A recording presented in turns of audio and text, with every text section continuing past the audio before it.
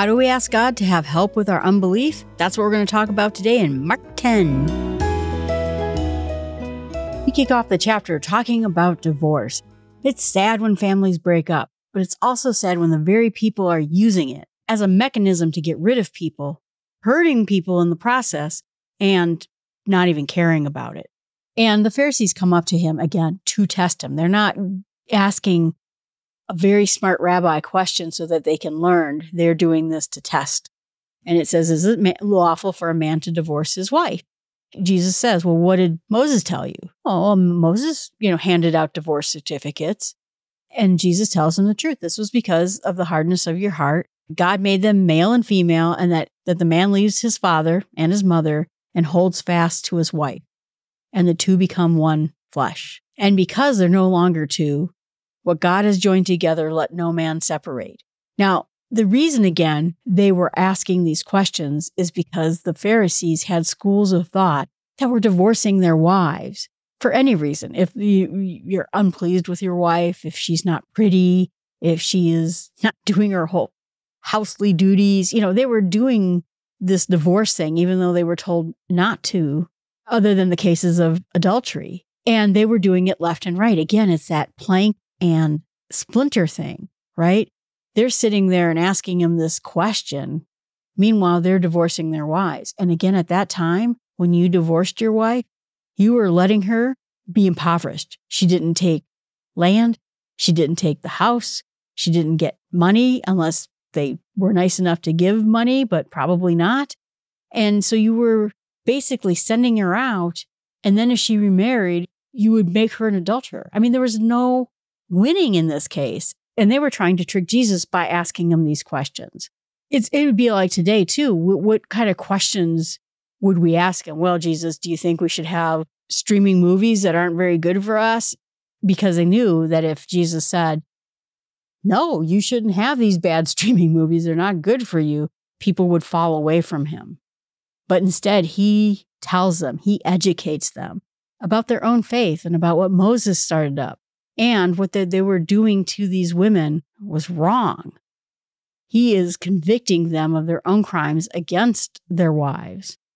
One of the disciples asked him again, I guess what I keep thinking about all of this when it comes to it is when God created us, He anticipated that marriage would be forever, that ever we would live in the Garden of Eden together forever, that we would take care of this planet, take care of each other, be kind to each other, and that sin would not enter this world.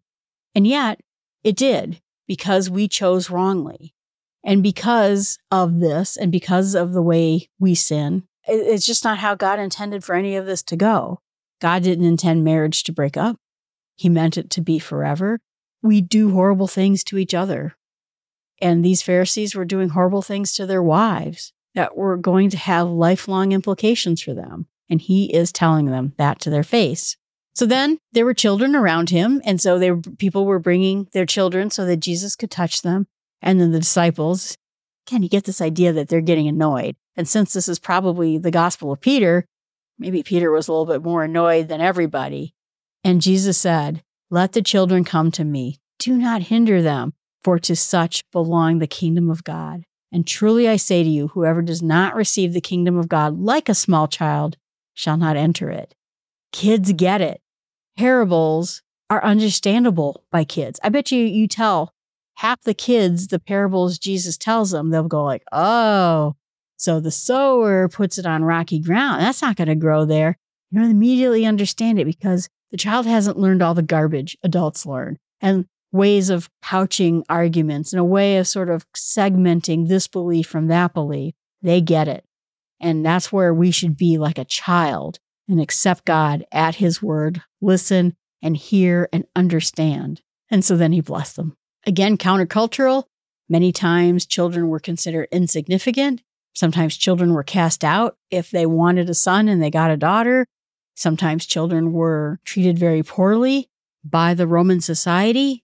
I mentioned it before, but one of the first signs that people recognize Christians as different is because if they saw a child that was put out, left on a rock, thrown into the woods, thrown out to the wilderness because, well, he just didn't need another daughter, which happened in the Roman and Greek cultures. The Jewish culture treated children much better, but to the Romans, this stood out to them. The Christians would raise that child because Jesus let them understand that children are as important as anybody in the kingdom of heaven. So now we have the rich young man who comes up to Jesus again. What must I do to inherit eternal life? Again, what actions must I take to save myself? So Jesus questions him, Why do you call me good? No one's good except for God. Are, are you saying I'm God? And you know the commandments don't murder, don't commit adultery, don't steal, don't bear false witness, don't defraud, honor your mother and father. Oh, you know what? I have done all these things since my youth. Since I was a kid, I did all of these things. And it says that Jesus looked at him and loved him. This wasn't Jesus trying to trick him. This wasn't Jesus trying to send him away. And he says, You lack one thing. Sell what you have and give it to the poor, and then you will have treasure in heaven. Come follow me. Again, he knew that man's heart. And he knew what that one thing was that that man wouldn't do. We don't know that he didn't do it later. We don't know what that lesson taught him. He probably thought about it for the rest of his life. Who knows what happened after that point? But it says that he was disheartened and he went away sorrowful because he had a lot of possessions. And Jesus says to his disciples that it's hard for people who have wealth to enter the kingdom of heaven. And they were like stunned about it. And I'm sure the, to the Romans, this would have mattered too, because again, these people made wage. You know, they had mo- some money. Probably they were a little bit more well off than many of the people they were guarding against in Israel. And then Jesus goes on to say, easier for a camel to go through the eye of the needle, the biggest animal I know to go through the tiniest thing. Why would he say such a thing? Because I think Jesus knows. And someone even mentioned, why does Jesus talk about sexual sins, money sins so often because someone, you know, people will do counts. Well, God talks about money 300, you know, I don't know how many times, but why why does God talk about it? Because I think he knows that those two things will drag us away from God more than anything. Well, are you saying I can't live with my boyfriend and be a worshiper of God? Are you saying that I can't hoard all this money and do all the things I want to do and get into the kingdom of God? It lures us away. It is a temptation away from God. So then they were like, well, wait a minute. Then who can be saved? And then Jesus says, with man it's impossible, but not with God, for all things are possible with God. And so Peter, again being bold, says, you know, we left everything to follow you. Peter, more than anybody, he, as far as we know, was the only apostle that was married. And he had a mother in law. We left everything, left our families, left our homes. And I left my fishing business, you know, that kind of thing. And that's where Jesus says that people who leave their homes, their mothers, their fathers, their children, their land, for the sake of the gospel, they'll get hundredfold back, and even more so with persecution. And then he goes and says, Many who will be first will be last, and many who will be last first. We heard this uh, said inside of Matthew. When reading this, it comes so quickly after who's going to be the greatest. You know, the argument of which apostle will be greatest, and many who will be first will be last. And I thought, too, it's kind of interesting as well that James ended up being the first apostle murdered for his faith. John, who lived in exile on an island and died last. So they are right there, the two sons of thunder, first and last. But I'm not sure that that's what it means, but that's kind of the first thought I had about it when I was thinking about it. But so many people think in order to be in high positions. These people are thinking like the chief rabbi and his sidekicks. They're thinking Augustus Caesar and his advisors who sit on his left and his right and help them rule all of Rome. It's about being a servant. It's about being like a child. That's who's first in the kingdom of God. And there's going to be people who are high up, like Caesar Augustus, who will not be first in the kingdom of God, even though they're here first on earth as leaders of great men.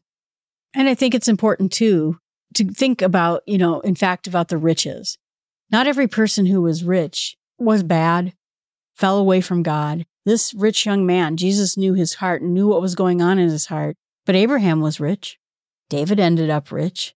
There were other people that we think of Mary, Martha, and Lazarus, who we think was rich. Lydia, Joseph of Arimathea, wealthy people. So while richness can make it um, harder for you to seek the things of the kingdom of God, doesn't mean that it's forbidden. Because again, with God, all things are possible. Jesus then talks about his death yet again and saying, as they were walking with him, We're going to go to Jerusalem.